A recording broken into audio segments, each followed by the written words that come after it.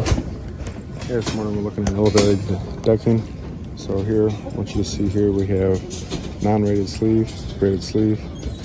Uh, these are important to look for down the road because this is going to have to maintain a fire rating, top and bottom, whereas this is listed for going through a slab. I want you to see here where they have their conduits. When we're looking at these, same thing as regular slab, not more than 360 degrees in a, in a run of pipe. You have nice smooth runs. Uh, biggest thing here is again, you have your plans and everything is site specific, but uh, maintaining your three quarter inch clearance and uh, really checking your site specific plans because there's so many spe site specific details here when you're getting into rebar placement and whatnot.